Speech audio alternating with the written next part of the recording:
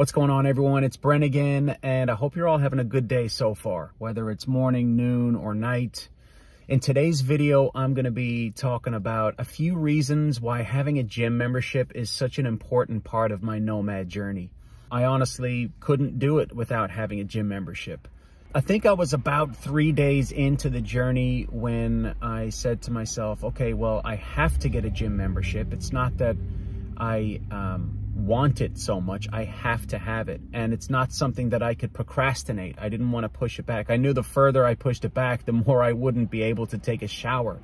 So that was the first reason for me of getting a gym membership was to have a place to go and shower. That leads me to the first reason, hygiene you know, there's a common misconception for people who live in their car that we are these disheveled people who are down and out. And that might be the case for some, certainly not for me. I found a way to make sure that I'm clean and smelling good and feeling good on a daily basis.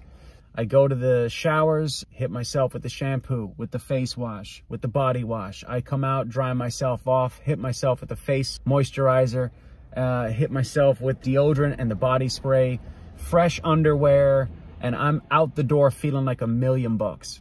Another reason is that going to the gym is like a really good place to just chill. Especially if you have a black membership, you can go into the, the lounge, let's just call it.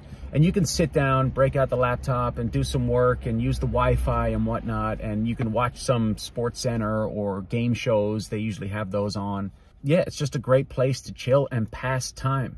One of the best things about going to the gym was that I started exercising. There's an old saying, if you hang out in a barber shop long enough, you're bound to get a haircut. Well, if you hang out in a gym long enough, you're bound to start working out. So I started doing some light cardio, walking, power walking. I was pretty out of shape when I started my journey. And then I started doing push-ups and pull-ups and I started doing some crunches and some weights and whatnot and I progressed. It just started to become more of a routine for me. I actually ended up losing a bit of weight and I just feel better. It's good for the blood circulation, especially because I work in my car and I live in my car. It's imperative to get out and stretch. I do my cardio, my weights, push-ups and all that kind of stuff. But I also do yoga stretches and breathing exercises, things like that to just treat my body to some movement and stretching. It's very important.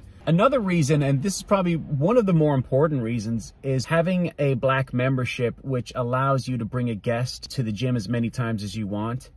Um, that allowed me to bring my son into the gym with me to work out with me and to introduce him to what it's like to go to the gym, how to use the equipment, the importance of physical health and whatnot.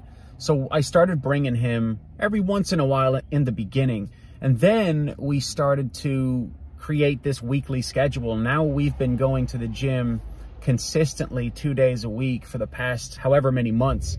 And it has allowed us to strengthen our bond and learn together. So as a bonding tool for my son, the gym came in clutch. Uh, we use it Wednesdays and Saturdays. It's just part of our daily routine that we created while I'm living in my car, working my way back into an apartment. So those are a few reasons. That's all I got for today. Hope you guys enjoy this video. If you do, like, subscribe, and also leave a comment. Ask me a question. You know, I know a lot about this car life stuff, so ask me a question. Uh, until then, I'll catch you on the next one.